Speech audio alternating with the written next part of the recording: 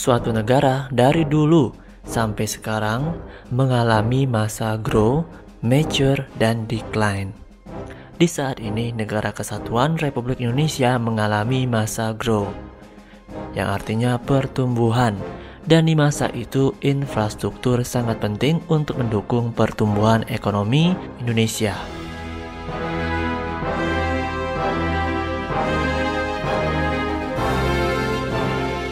Di Indonesia juga mempunyai banyak proyek infrastruktur. Salah satunya kereta cepat Jakarta-Bandung yang saat ini sedang dikirim ke Indonesia.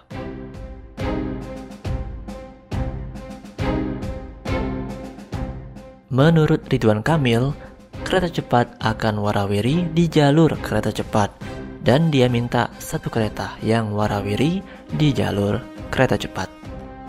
Dan Nanti ada kereta cepat juga akan diuji coba terus-menerus sampai Juni 2023 pada masa peresmian kereta cepat Jakarta-Bandung oleh Presiden Jokowi.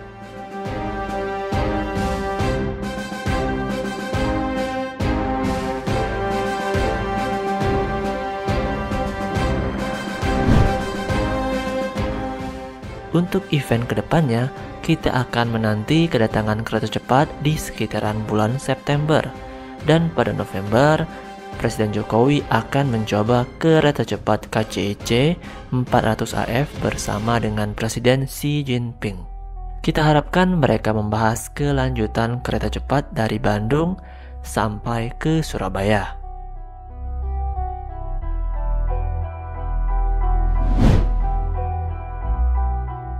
Netizen asing banyak yang menyoroti peresmian kereta cepat Indonesia yang pertama di Asia Tenggara dan bumi bagian selatan.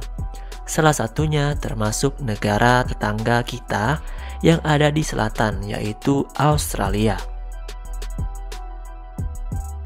Masyarakat Australia haus akan transportasi modern kereta cepat dan sebelumnya mereka sempat menjajaki pembangunan kereta cepat dengan pihak Jerman. Tapi melihat Indonesia yang mendahului Australia itu sukses hadirkan kereta cepat, mereka kelihatan tidak senang. Dari kasus viral, beberapa hari yang lalu ada di DPR Australia yang mengejek Bali. That shit then is brought back in their clothing and in their on them, their person and back into this country. Kita sebagai bangsa Indonesia harus bersatu agar semakin kuat. Tunjukkan perubahan Indonesia ke dunia agar Indonesia tidak dikucilkan lagi. Dulu Tiongkok dikucilkan, tapi sekarang warga global termasuk Barat melihat Tiongkok sebagai ancaman dan kemajuan.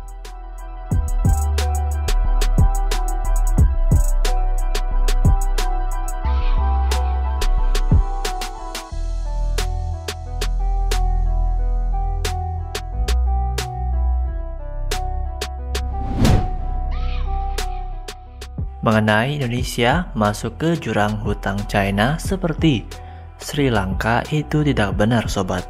Jangan samakan kasus Indonesia dengan Sri Lanka. Indonesia negara yang besar dari Sabang sampai Merauke.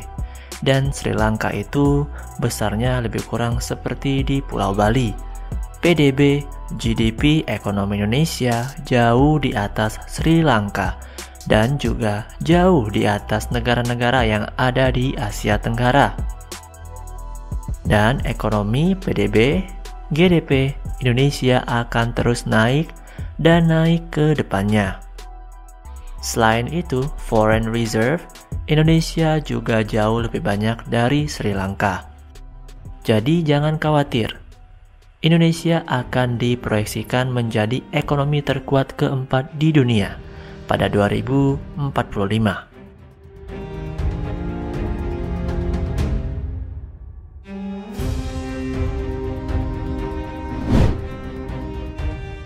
Mengenai Cina untung di proyek kereta cepat gara-gara bengkak. Tidak ada yang untung saat ini. Kalau China, Tiongkok untung, Indonesia juga untung. Kita tahu Proyek kereta cepat Jakarta-Bandung adalah joint venture yang untung nanti BUMN Indonesia dan juga China. Bukan Indonesia atau China sebagai negara, tapi BUMN tiap negara. Saya ulangi, BUMN tiap negara. Bagi Tiongkok, proyek kereta cepat ini kecil, mereka habiskan ratusan triliun bahkan ribuan-ribuan triliun untuk proyek-proyek mereka yang ada di sana. Jadi kereta cepat ini masih tergolong kecil bagi Tiongkok. Saat ini Tiongkok mempunyai jalur kereta cepat terpanjang di dunia, sekitar 40.000 km.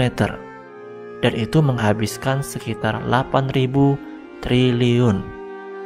Jadi, kalau anggap China untung kurang tepat.